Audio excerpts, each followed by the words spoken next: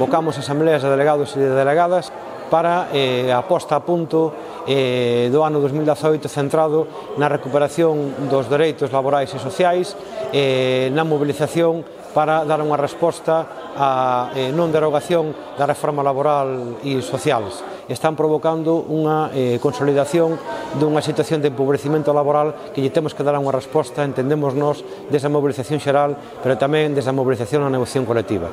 Temos que procurar eh, dar unha resposta á incapacidade das teóricas eh, forzas políticas de esquerda no Estado eh, que eh, non son quen de deixar sen efecto toda a política do Partido Popular.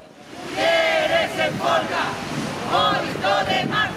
Ben, a CEGA continúa co labor asitativo eh, que acordamos a, hai meses non eh, para poder facer un chamamento masivo a que 8 de marzo sexa un día de folga xeral, un día de folga xeral eh, das mulleres, eh, onde as mulleres eh, nos eh, levantamos non dos nosos postos de traballo e marchemos visibilizando pois o espazo que deixamos eh, na sociedade. Non? Xemos implicar tamén o conxunto da central sindical, os nosos delegados eh, da CIGA, levando unha mensaxe clara eh, que, que o seu labor é de acompañamento, de reforzo, de solidaridade, pero que o labor protagonista temos as mulleres. Non? Este ano queremos dar un, un golpe de efecto eh, e volver a poñer eh, no conxunto da cidadanía a orixe do 8 de marzo o eh, rachar con, co hipocresía co que se están a converter eses 8 de marzo comercializados polo capitalismo, polo heteropatriarcado, donde nos regalan, donde nos felicitan, e realmente poñer o foco de atención na realidade, non? Nesas discriminacións, nesas desigualdades desigualdades,